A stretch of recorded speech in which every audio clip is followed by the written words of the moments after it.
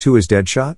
Meet Floyd Lawton, otherwise known as Deadshot, a former Batman villain and founding member of the Suicide Squad. Though he has no superhuman abilities, his uncannily accurate aim and love for firearms make him one of the deadliest assassins in the DC universe.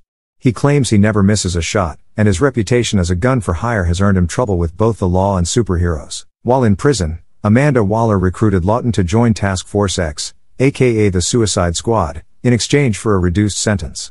Despite his violent and unbalanced nature, Lawton has shown a capacity for good and is fiercely loyal to his daughter Zoe, whom he supports with his earnings from missions and criminal activity. So just